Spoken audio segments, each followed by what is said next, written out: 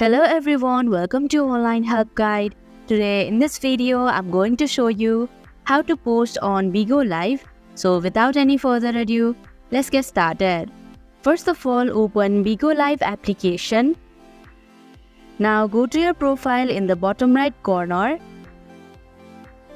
Here tap on My Post option.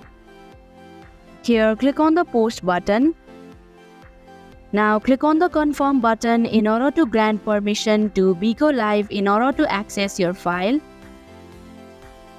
Here, if you want to allow Bigo Live to access photos and media on your device, then tap on allow button. Now select a photo or video that you want to post. Click on the done option in the bottom right corner. Here you can type something in order to describe your photo or video. You can also add title to your post, mention your friends and add emojis.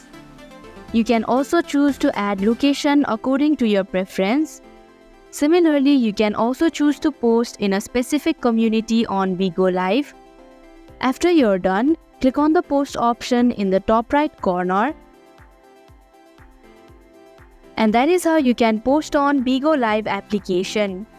Thank you for watching Online Help Guide. Hope this video was helpful. If it was, hit the like button and comment down if you have any questions or feedback.